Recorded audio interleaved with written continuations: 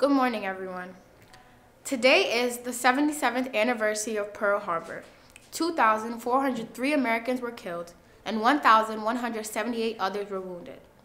Let's all remember to thank a service member today. And let's pray for peace in the world.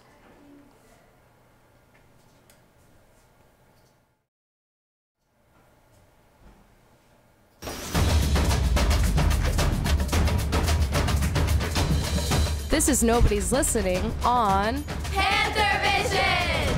Meow.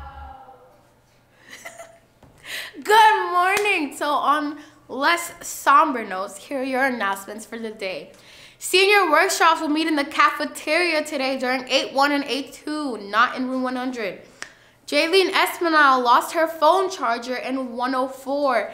If you accidentally picked it up, please bring it to the office. Preston's Got Talent is today, tonight at 7 p.m.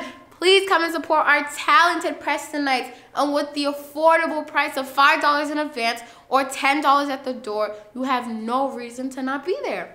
We have a Go Potential Panthers. When I say Go Potential, you say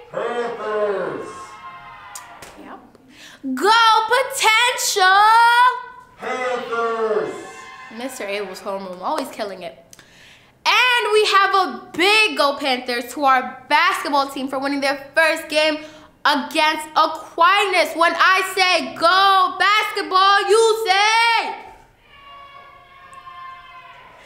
go basketball. okay, and a happy birthday to Tatiana Romero. And now, here's another episode of Rapid Fire Questions with Faculty.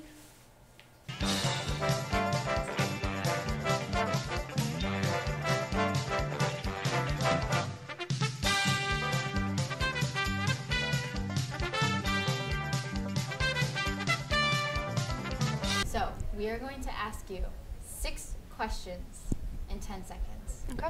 Do you think you could do it? I'm ready. Favorite color? Blue. Dog or cat? Cat. Starbucks or Dunkin' Donuts? Starbucks. Mustard or ketchup? Mustard. Chocolate or vanilla? Chocolate. Ma- McDonald's or Burger King? Neither. This was Rapid Fire Questions with our faculty.